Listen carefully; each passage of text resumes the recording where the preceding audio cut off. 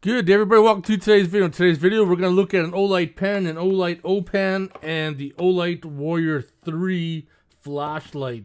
These were sent to me, once again, to go over and quickly use them. This little orange guy is just a pen itself, and this is a pen slash light slash green pointer. And this is the Warrior 3. It's a very sleek, nice design tells you your battery power and your light power on the switch itself. And this is the pen. To charge it, you just disconnect it and you can see the USB plug-in. Now I'm honestly going to say I'm pretty impressed by how well these pens write. I've never written with a decent pen before, just like those cheap ones you get from the store, but this thing here, extremely well. You can see right there in the clip itself, there's LED light and then the green pointer is at the very top. Same thing. This one writes extremely smooth. There's another shot, both pens.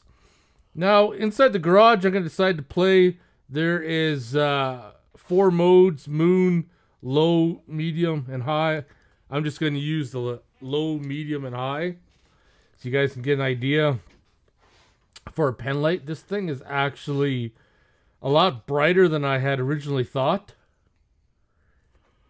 I mean, you could almost use it as a flashlight, but it's not really what it's designed for. But if you need to read something or light up something, yeah, you could just see.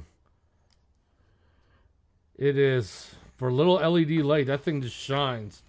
And then to turn it on or off, you push the little button up and it'll turn it on and off. And if you want to go to the green light mode, you push it up and you hold it until it switches. And I'm just using the green light pointer, just kind of playing around. And now this is the Olight Warrior 3. Comes with a carrying case. There's no proximity sensor in the front, unlike some of the other lights. You charge it at the back. And of course, I talked about the battery power and light power. I'm just in the back alley now. Going to show you on the low power, the light. And click it. You can see two bars. That is going to be the medium.